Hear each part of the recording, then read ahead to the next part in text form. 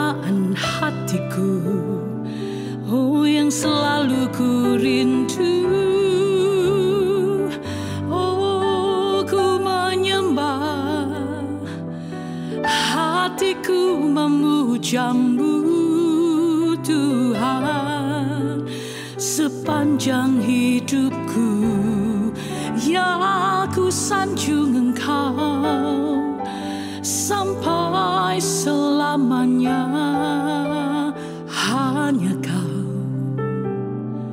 oh hanya kau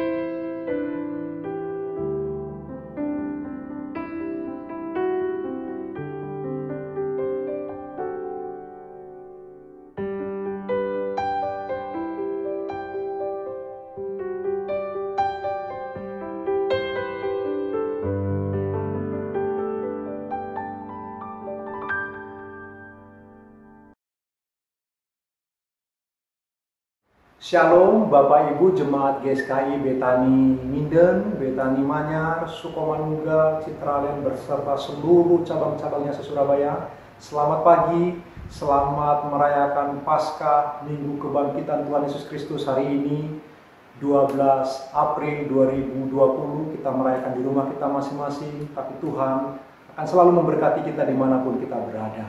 Karena itu kita bersyukur untuk perayaan pada hari ini hari ini tanggal 12 April 2020 bersama-sama kita bisa menikmati dan merayakan Paskah walau kita di rumah kita masing-masing.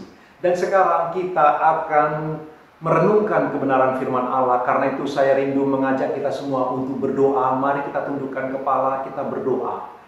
Bapa di dalam surga, Allah kami yang maha baik, Allah kami yang maha besar, yang kami sembah, kami puji, di dalam nama Tuhan Yesus Kristus Juru Selamat kami yang sejati, kami bersyukur hari ini kami memperingati peristiwa Paskah di mana Tuhan Yesus sebagai kepala gereja bangkit dari kematian. Kami bersyukur ya Tuhan, kebangkitanmu menghidupkan kami semua. Kami berdoa biarlah kiranya Allah menjamah kami dalam ibadah kami di rumah kami masing-masing. Tuhan melalui Allah Roh Kudus mengunjungi kami satu persatu, orang demi orang, di mana pun kami berada.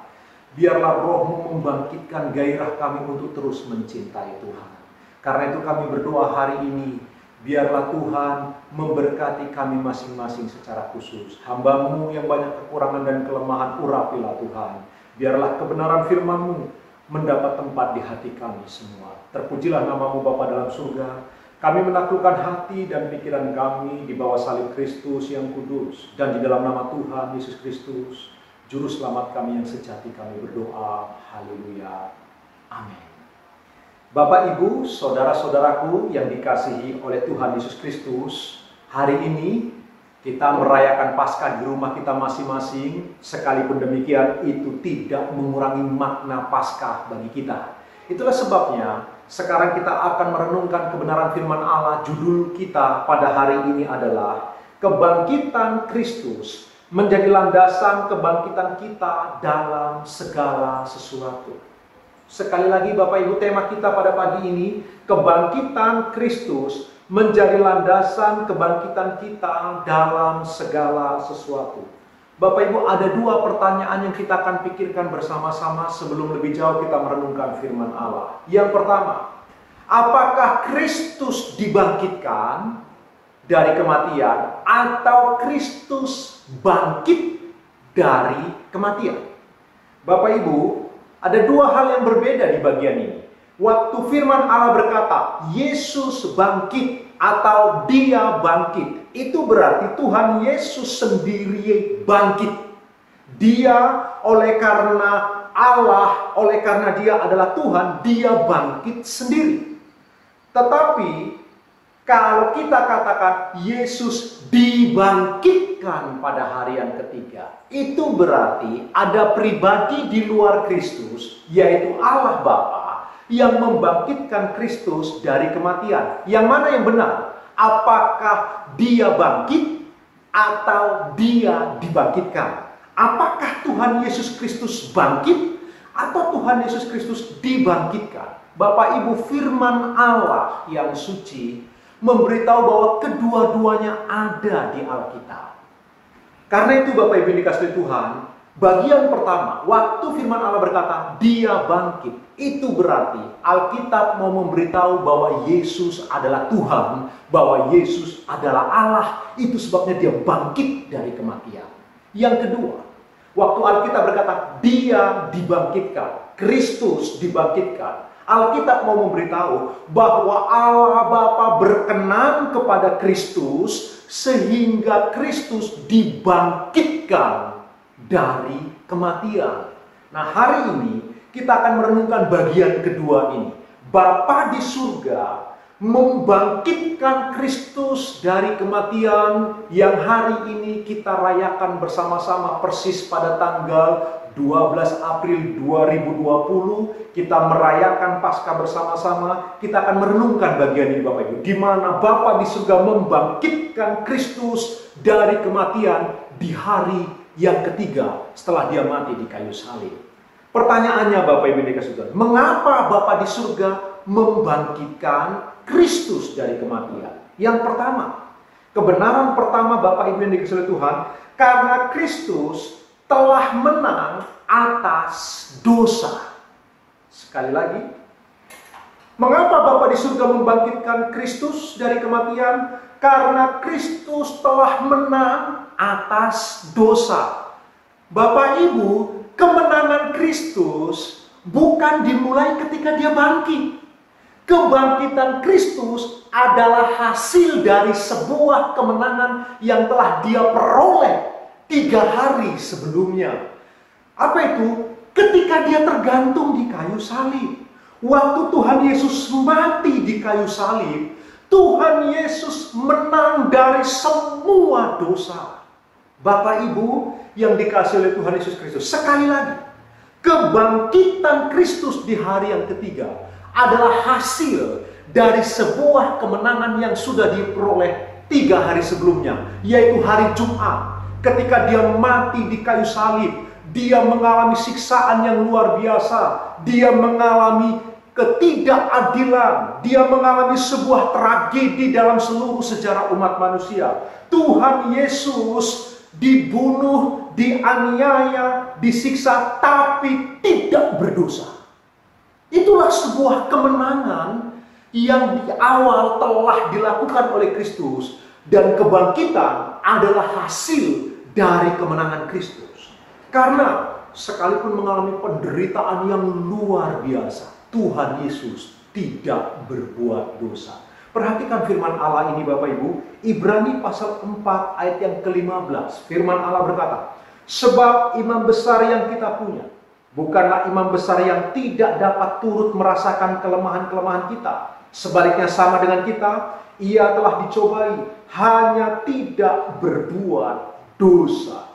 Penulis Ibrani memberitahu kita, seluruh rangkaian kehidupan Kristus, Dimulai dari ketika dia selesai dari dibaptis kemudian dicobai oleh iblis di padang gurun. Di dalam pelayanan sampai kemudian dia tergantung di kayu salib. Dia terus dicobai, dicobai mengalami kesusahan, mengalami fitnahan, mengalami pengkhianatan, ditelanjangi, dipermalukan begitu rupa. Mengalami semua tragedi yang buruk dan derita yang luar biasa. Tapi Kristus tidak berdosa. Sampai dia tergantung di kayu salib, dia tidak berbuat dosa. Itulah sebabnya Bapak di surga membangkitkan dia. Itulah sebabnya kematian Kristus di kayu salib sebuah kemenangan. Karena dia mati dengan tidak berbuat dosa. Bagi dunia di zamannya, Kristus gagal. Bagi orang-orang di zaman itu, Tuhan Yesus kalah. Tuhan Yesus dianggap gagal mendirikan kerajaan Allah di dunia ini. Tuhan Yesus dianggap kalah karena tidak bisa kemudian melepaskan dirinya dari hukuman mati. Sebaliknya, Tuhan Yesus menjalani hukuman mati sampai mati tergantung di kayu salib. Bagi dunia, Tuhan Yesus kalah. Bagi dunia, Tuhan Yesus gagal. Tetapi dari firman Allah kita tahu, Tuhan Yesus bukan kalah, bukan gagal. Justru waktu dia tergantung mati di kayu salib, itu sebuah kemenangan yang sejati. Karena walau dia menderita, dia tidak berbuat dosa. Itulah sebabnya di hari yang ketiga Bapa di surga membangkitkan dia. Jadi kebangkitan adalah hasil dari sebuah kemenangan Kristus. Ketika dicobai, ketika mengalami kesusahan dan penderitaan, tidak berbuat dosa. Hari ini, firman Tuhan datang kepada Bapak Ibu dan saya. Bapak Ibu yang dikasih Tuhan, mari kita menjadikan Kristus sebagai teladan sejati kita. Marilah kita mengalami kebangkitan Kristus dalam hidup kita dengan ditandai kita berani dan berjuang untuk menang dari dosa. Bagaimana dengan Bapak Ibu dan saya? Ayo kita melihat kepada Kristus. Sekalipun dicobai, mengalami penderitaan, mengalami kesusahan, mengalami rasa sakit yang tak terperikan. Tapi Tuhan Yesus tidak berbuat dosa. Hari ini Bapak Ibu, kita sedang ada di situasi yang cukup mengkhawatirkan, wabah virus corona melanda di seluruh dunia. Bukan hanya Indonesia kita ini yang mengalami penderitaan, seluruh dunia mengalami kesusahan, Bapak Ibu dikasih Tuhan. Tetapi firman Allah datang dalam peristiwa perayaan Paskah. Saya mendorong kepada seluruh jemaat GSKI, Betani, Nginden, Manyar, Sukomanunggal, Citralen maupun seluruh cabang-cabangnya. Bapak Ibu saya mendorong kepada kita semua. Jangan berbuat dosa. Mari kita bangkit. Situasi yang kurang baik ini jangan membuat kita berdosa. Supaya kebangkitan Kristus menjadi bagian dari kebangkitan kita. Kita mengalami sebuah kebangkitan rohani, kita mengalami sebuah kebangkitan pengetahuan tentang Allah, kita mengalami sebuah kebangkitan secara ekonomi, kita mengalami sebuah kebangkitan-kebangkitan yang lain yang berkenan di hati Allah. Bapak Ibu yang dikasihi oleh Tuhan, hari ini sekali lagi, bagaimana dengan Bapak Ibu dan saya? Ketika kita melihat kepala gereja, juru selamat kita, penebus kita yang hidup itu, Tuhan Yesus bangkit, dibangkitkan oleh Bapa di surga, oleh karena dia menang atas dosa. Bapak Ibu dan saya, kita pun harus menang atas dosa. Di dalam diri kita ada dua potensi. Potensi untuk berbuat dosa dan potensi untuk tidak berbuat dosa. Ada sama-sama di dalam diri kita. Potensi untuk berbuat dosa, tetapi kita juga punya potensi, punya kemampuan untuk tidak berbuat dosa. Ada roh kudus Allah menyertai kita, ada firman Allah yang kekal bersama dengan kita. Ada Allah yang menyertai kita. Mari bersama-sama dalam situasi yang sulit ini. Kita belajar untuk mengalahkan hidup kedagingan kita mengalahkan natur dosa di dalam diri kita, Bapak Ibu. Sehingga kita sekali lagi mengalami kebangkitan rohani dalam suasana yang mungkin kurang menguntungkan, tapi jika kita bersama dengan Tuhan, kita akan mengalami kemenangan demi kemenangan. Kristus menjadi contoh teladan kemenangan yang luar biasa. Kemenangannya ketika dia tidak berbuat dosa sekalipun mengalami penderitaan yang luar biasa. Bapak Ibu yang dikasih oleh Tuhan, ada sebuah kesaksian dari Henry Michael Nolan, Bapak Ibu. Bapak Ibu mungkin pernah mendengar kesaksian ini. Seorang profesor dari universitas terkenal Harvard University, Yale University, seorang profesor yang terkenal luar biasa menulis banyak buku-buku rohani yang dibaca oleh lintas denominasi seseorang yang luar biasa. Bapak Ibu, dia meninggalkan semua itu. Meninggalkan semua kemegahan sebagai seorang profesor yang tersohor dalam dunia Kristiani. Lalu kemudian dia meninggalkan, dia pergi ke Kanada. Menarik Bapak Ibu, dia seorang pastor. Dari kecil dia punya kecenderungan, kecenderungan untuk homoseksual. Tapi dia tidak menghidupi kehidupan itu. Satu dua kali dia jatuh ke dalam dosa Bapak Ibu. Tetapi dia berjuang, dia tidak menghidupi kehidupan homoseksual. Dia menjadi seorang pastor. Lalu kemudian Dia meninggalkan semua kemegahan sebagai seorang guru besar, seorang profesor di kampus-kampus terbesar. Dia pergi ke Kanada, dia mencari sebuah panti asuhan, dia bertemu dengan sebuah panti asuhan yang bernama Daybreak di Kanada.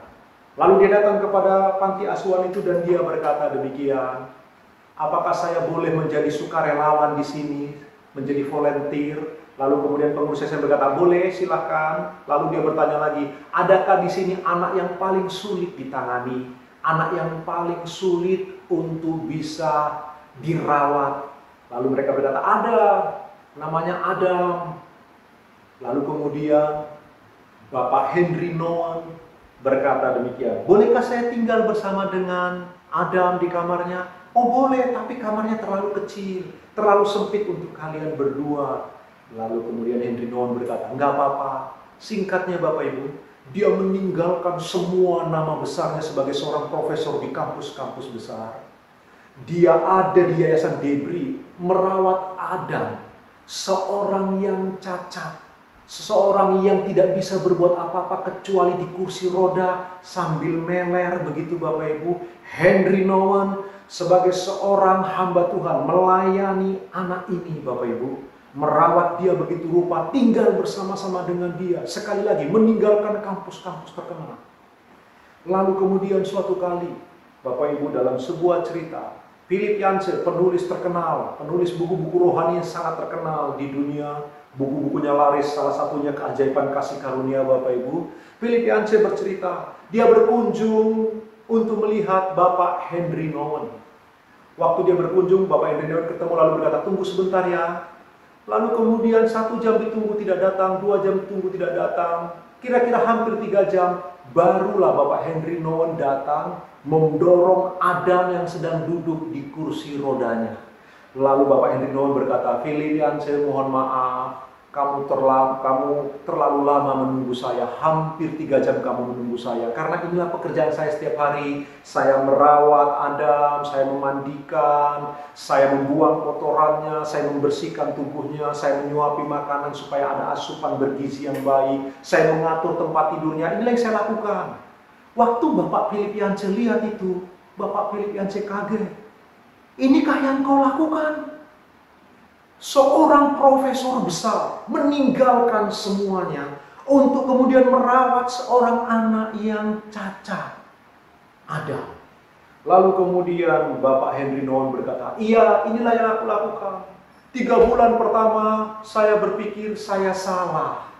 Tiga bulan pertama saya berpikir mungkin salah saya salah tempat. Tetapi sekarang setelah 10 tahun saya tahu inilah tempat yang paling pas buat saya Inilah cara Tuhan membentuk saya supaya natur dosa dalam diri saya itu semakin hari semakin terkikis. Bapak Ibu yang dikasih Tuhan, seorang dengan nama besar yang luar biasa meninggalkan semua itu untuk merawat seorang anak yang bernama Adam. Pilih aja cukup kaget. Lalu suatu kali dalam cerita itu Bapak Henry Noon diundang oleh kampus di Kanada untuk mengajar. Lalu dia pergi, waktu dia mengajar tiba-tiba panitia memberi cari kertas kecil memberitahu kepada dia, lalu kemudian dia stop pengajarannya, dia baca bahwa dia diminta untuk menelepon yayasan Daybreak tempat di mana dia melayani. Lalu dia berkata, tunggu sebentar. Setelah 10 menit, dia telepon Daybreak, yayasan Daybreak tadi. Waktu ditelepon Bapak Ibu, di sudut sana, di ujung sana, ada suara anak kecil berkata begini, Henry, kamu di mana? Kenapa kamu hari ini pergi meninggalkan kami tidak pamit kepada kami? Henry Nolan tiba-tiba marah Bapak Ibu. Dia meledak luar biasa. Dia berkata, aku diperlakukan seperti ini. Aku sedang mengajar, sekarang aku diperlakukan seperti ini. Bapak Ibu dia pikir ada telepon yang sangat penting dari Debri. Ternyata hanya seorang anak yang bertanya, kenapa engkau nggak pamit ketika pergi dari Debri? Dia pergi sebentar untuk mengajar. Lalu waktu dia marah, tiba-tiba dia kaget Bapak Ibu. Ternyata kesombongan di dalam dirinya belum selesai. Ternyata dia belum lulus hanya karena telepon seorang anak kecil. Hanya masalah yang sederhana. Henry Nowen meledak. Dia kemudian marah begitu rupa. Hari itu dia sadar. Natur dosa dalam dirinya masih ada. Amarah itu masih belum bisa dikontrol. Tapi bagi saya, Bapak Henry Nowen seorang yang luar biasa. Dia terus berjuang untuk bisa menang dari dosa.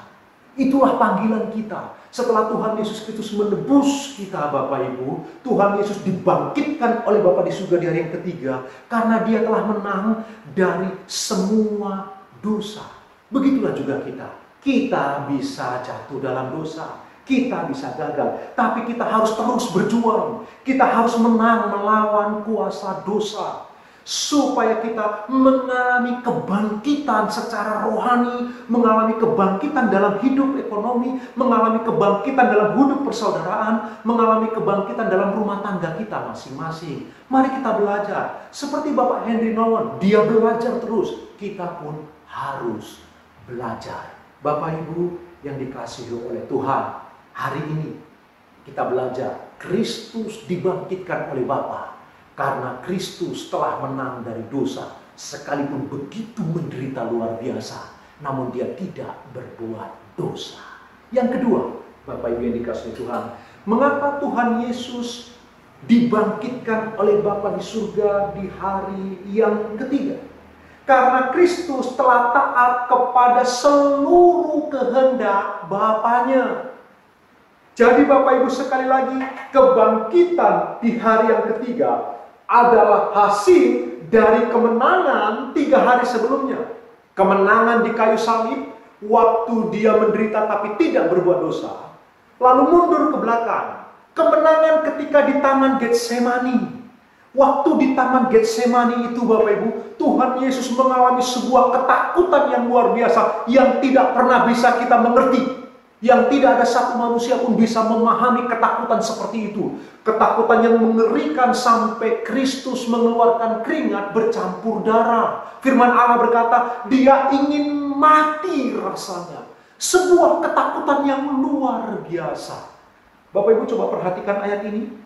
Di dalam kitab Markus 14 ayat 36. Firman Allah berkata demikian. Saya bacakan untuk Bapak Ibu di rumah. Katanya, ya Aba, ya Bapa, tidak ada yang mustahil bagimu. Ambillah cawan ini daripadaku, tetapi janganlah apa yang aku kehendaki, melainkan apa yang engkau kehendaki. Perhatikan sebuah doa yang luar biasa Bapak Ibu. Anak Allah yang maha tinggi berdoa kepada Bapaknya. Tidak ada yang mustahil bagimu ya Aba Bapa. Jikalau mungkin biarlah cawan ini berlalu, tetapi bukan kehendakku, kehendak mula yang jadi. Di sinilah titik kemenangan Kristus. Sekali lagi Bapak Ibu, kebangkitan Kristus di hari yang ketiga adalah akibat dari sebuah kemenangan. Sebelumnya dia menang di kayu salib, menderita tapi tidak berbuat dosa. Namun tarik ke belakang lagi, dia telah mengalami juga kemenangan di Taman Getsemani ketika ketakutan luar biasa karena dia yang tidak berdosa akan dijadikan dosa. Dia akan terpisah dari bapaknya, padahal dia tidak pernah terpisah dari kekekalan. Hari itu dia harus terpisah, karena itu dia ketakutan luar biasa dan berdoa. Tapi di dalam doanya, dia mentaati kehendak Allah luar biasa. Dia berkata, bukan kehendakku yang terjadi, kehendak mula yang jadi. Kristus taat mutlak. Kristus memiliki sebuah ketaatan yang total. Dia melakukan sebuah penyangkalan diri. Dia berseru kepada Bapaknya, kehendakmu yang jadi, bukan kehendakku. Bapak Ibu, ini sangat sejajar dengan apa yang diajarkan oleh Tuhan Yesus kepada murid-muridnya. Dalam Matius pasal yang kelima, enam, dan tujuh, dalam khotbah di bukit. Tuhan Yesus pernah mengajarkan murid-muridnya bagaimana seharusnya berdoa. Dalam doa Bapa kami, Yesus mengatakan di bagian-bagian akhir, Jadilah kehendakmu di bumi seperti di surga. Bapak Ibu, di surga kehendak Allah disukai. Di surga kehendak Allah dirayakan dan Kristus berdoa mengajarkan kita berdoa supaya kehendak Allah terjadi di bumi seperti di surga. Kristus rindu kehendak Bapa dicintai, disukai di bumi ini dan dirayakan. Kristus telah membuktikannya. Di taman Getsemani itu dia membuktikan bahwa dia merayakan kehendak Bapaknya. Dia mencintai kehendak Bapaknya. Sampai-sampai dia pernah berkata dalam Injil Yohanes, Aku datang untuk mengerjakan kehendak Bapa. Makananku adalah mengerjakan kehendak Bapa. Jadi di Taman Getsemani itulah Kristus telah mengalami kemenangan. Kebangkitan hari yang ketiga, dia dibangkitkan oleh Bapa di surga itu adalah hasil dari sebuah kemenangan di Taman Getsemani. Ketika dia melakukan taat mutlak kepada seluruh kehendak Bapaknya. Hari ini Bapak Ibu, jemaat yang dikasih oleh Tuhan Yesus Kristus, tanggal 12 April 2020, sebuah pasca yang istimewa. Mengapa istimewa? Kita ada di rumah masing-masing kita tidak bisa merayakan di gedung gereja yang indah yang kita bersama-sama merayakan hadirat Allah luar biasa. Tapi sekarang kita di rumah kita masing-masing dan di tempat kita masing-masing jemaat Tuhan, firman Allah ini datang. Apakah dalam suasana-suasana seperti ini ketika bisnis mulai menurun, ekonomi sudah mengalami mengalami krisis, dunia sedang mengalami krisis ekonomi Bapak Ibu. Barangkali ada di antara Bapak Ibu mulai mengalami kesulitan ekonomi, finansial. Barangkali yang bisnis restoran sudah mulai khawatir dan cemas dan banyak bisnis-bisnis lain yang terdampak oleh karena COVID-19. Dalam suasana seperti ini Bapak Ibu, kadang-kadang kita bingung Kadang-kadang kita khawatir, lalu kadang-kadang kita tergoda untuk berbuat dosa. Jangan lakukan Bapak Ibu. Dan yang paling penting dari poin kedua ini, tetaplah mengerjakan kehendak Allah. Tuhan Yesus dibangkitkan oleh Bapa karena dia mengerjakan seluruh kehendak Allah dengan taat mutlak. Mari kita belajar bersama-sama. Saya tahu ini tidak mudah. Saya mengerti suasana ini Bapak Ibu. Tidak gampang bagi kita. Tapi saya sebagai seorang hamba Tuhan menggugah kita semua. Jemaat GSKI Betani, Nginden, Manyar, Suko, Cik, Suko Manunggal, Citralen maupun seluruh cabang-cabangnya di Surabaya. Saya menggugah kita semua. Mari belajar menyangkal diri Hari ini sebuah kesempatan bagi kita bersama-sama melakukan kebenaran firman Allah. Belajar menyangkal diri dan mengizinkan kehendak Allah yang suci itu kita rayakan bersama-sama. Biar kehendak Allah menjadi kesukaan kita. Ingatlah, ingat Bapak Ibu. Hidup ini bukan tentang agenda-agenda kita pribadi. Tuhan Yesus menebus Bapak Ibu dan saya. Bapak di surga memilih Bapak Ibu dan saya. Bukan supaya hidup bagi diri sendiri kita ditebus oleh kuasa darah Kristus supaya kita mengerjakan kehendak Bapa di surga. Seperti Kristus datang, makanannya mengerjakan kehendak Bapa di surga. Begitulah kita. Kita ditebus oleh kematian Kristus di kayu salib supaya kita mengerjakan kehendak Bapa di surga. Tidak sekedar mengerjakan agenda-agenda kita sendiri. Mari dalam suasana yang kurang nyaman di dunia saat ini Bapak Ibu, kita belajar untuk selangkah demi selangkah menyangkal diri dan mengerjakan kehendak Allah dalam hidup kita.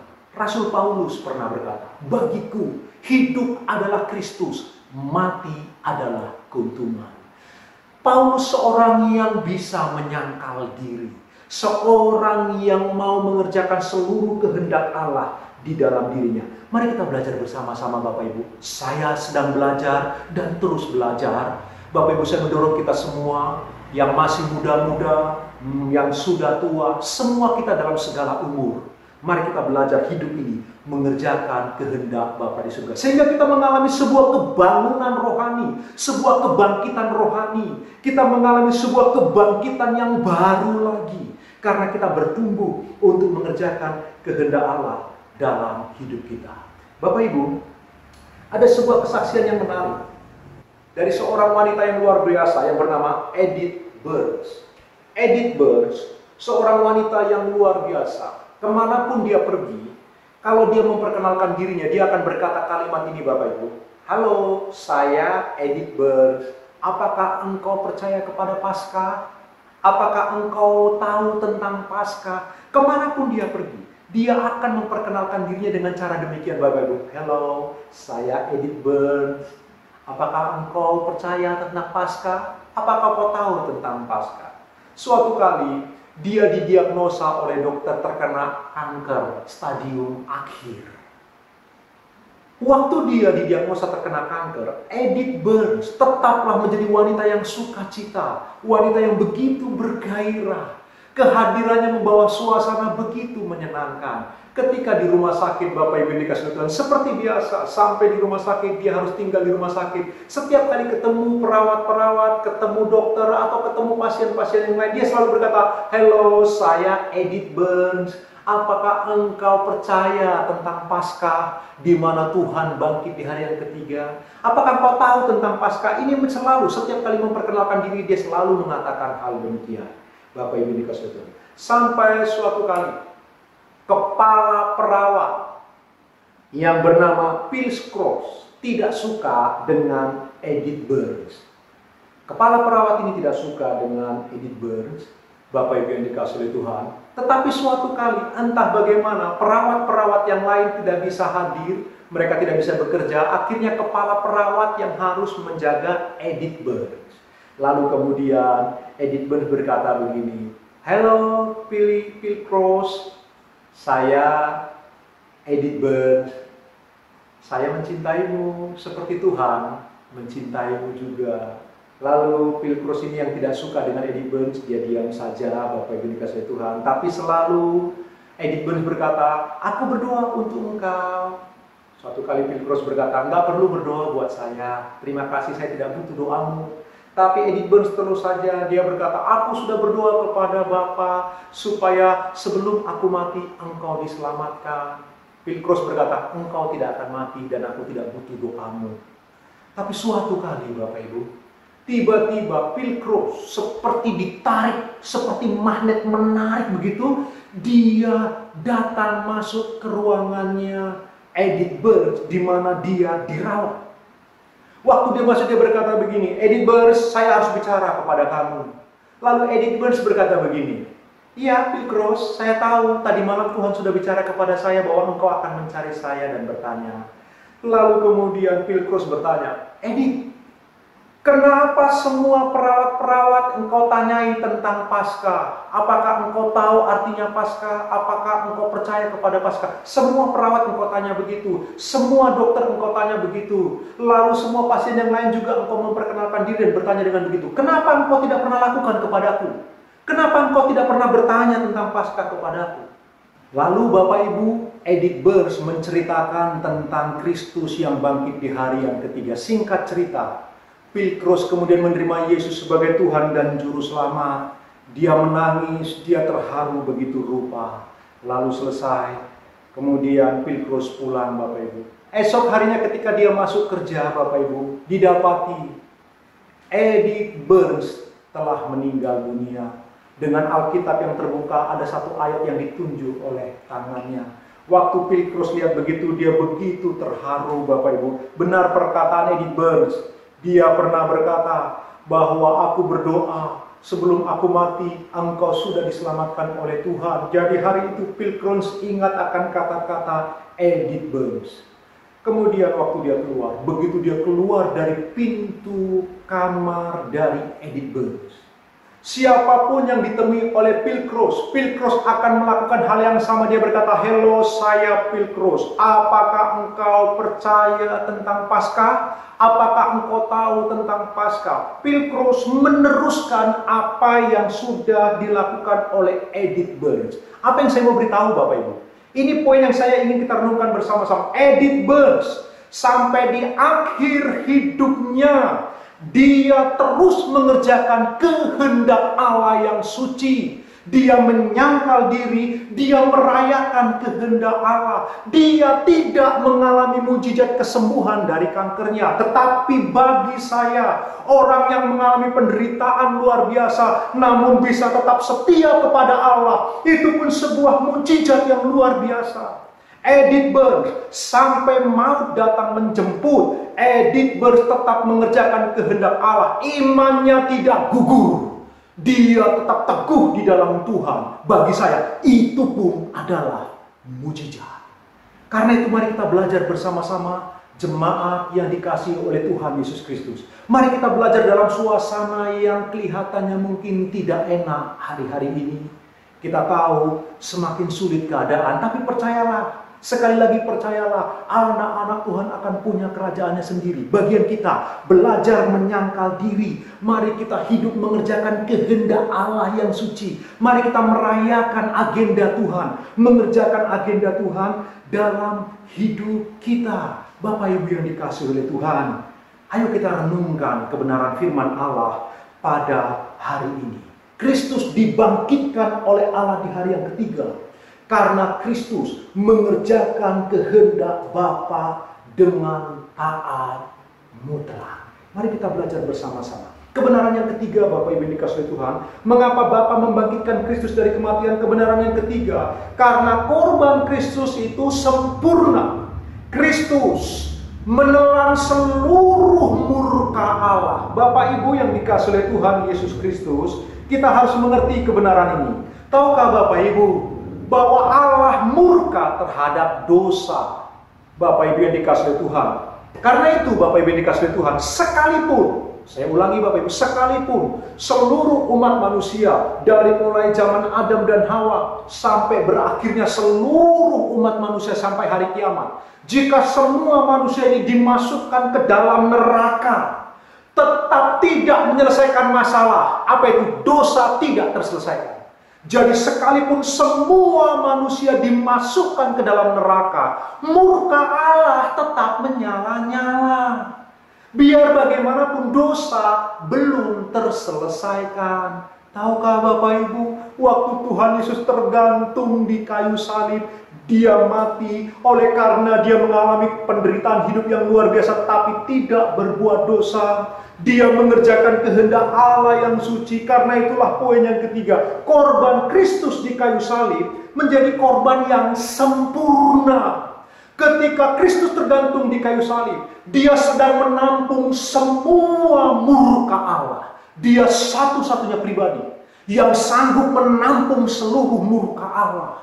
Sehingga di dalam korban Kristus seluruh atribut-atribut dalam diri Allah terpuaskan.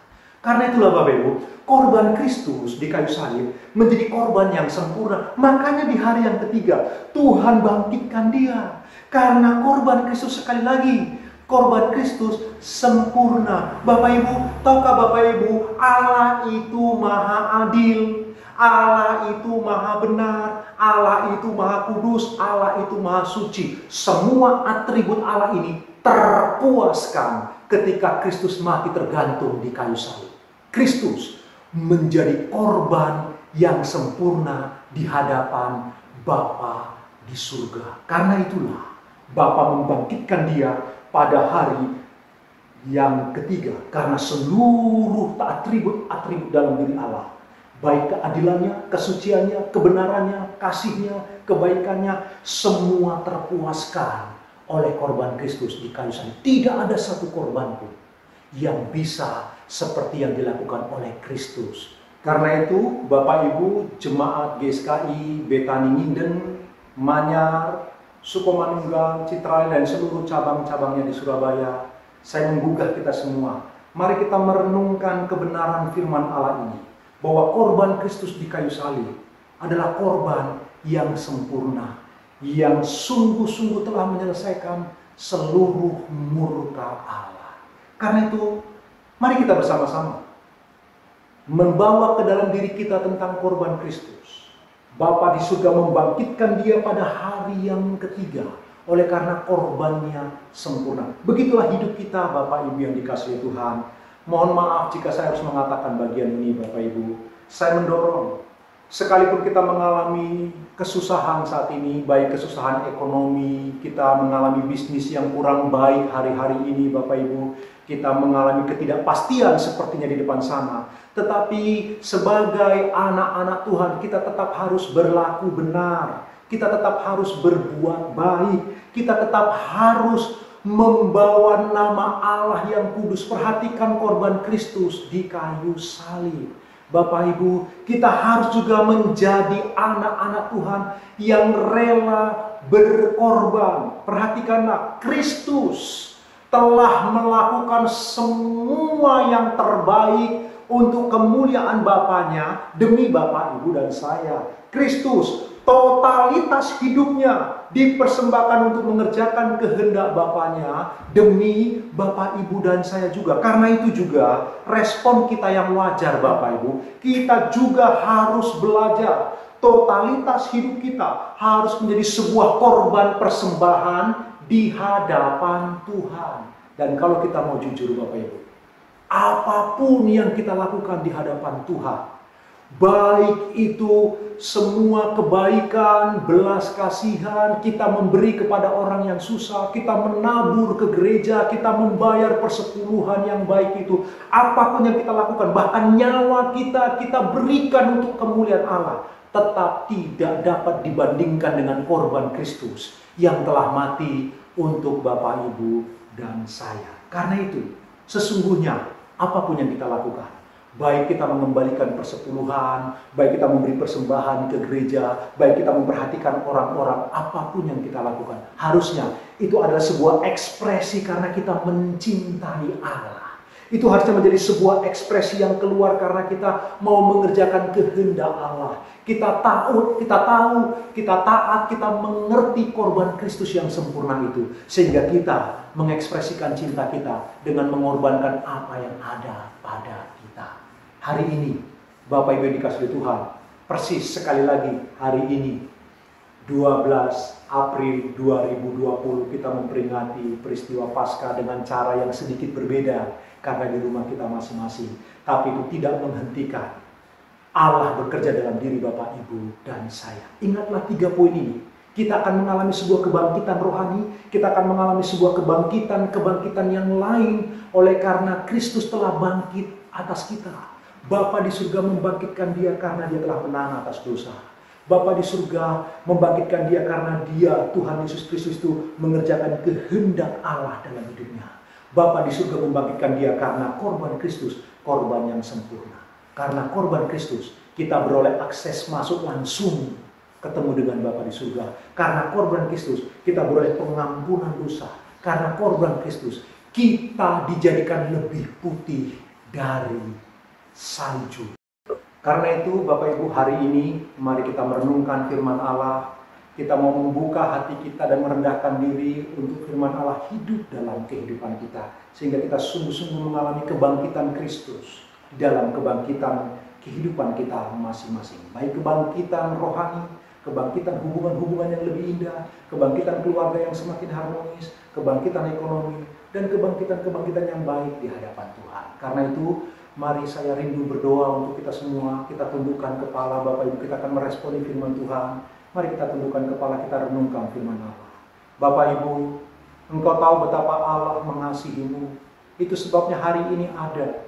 Untuk kita bisa bersekutu dengan Tuhan yang hidup. Tuhan yang sudah bangkit. Penebusku hidup. Penebusmu hidup. Karena itu sebelum kita berdoa renungkan firman Allah ini.